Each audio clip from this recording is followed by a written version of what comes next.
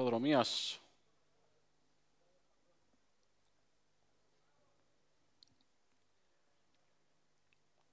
Έχει δοθεί εκκίνηση της δεύτερης ε, υποδρομίας.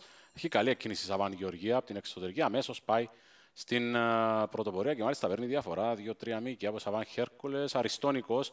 Τώρα εξωτερικά προσπαθεί ο Glow Up και ο Κυπριανός να βελτιώσουν την ε, θέση τους. Εσωτερικά είναι και Ατσίδα. Σαββάν Γεωργία είναι στα τρία μήκη. Έρχεται τώρα ο Κυπριανός μαζί με τον Glow Up και θέλουν να πλησιάσουν την πρωτοπόρο.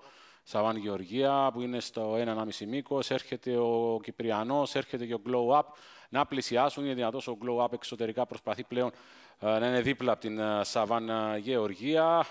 Δύο φαβορή δίπλα-δίπλα πλέον. Σαβάν Γεωργία και Glow Up. Πιο πίσω είναι ο Κυπριανός. Σαβάν Χέρκουλες έχει πάρει πλέον πλέον έκτημα.